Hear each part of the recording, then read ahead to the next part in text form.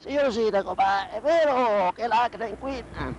Ma eh, diciamo che questa è una notizia così che è stata anche in parte diciamo, interpretata male, eccetera. Tutto è nato da una interrogazione che mi ha fatto un consigliere di minoranza, il quale ha avuto certe notizie e si è sentito giustamente in dovere di chiedermi notizie.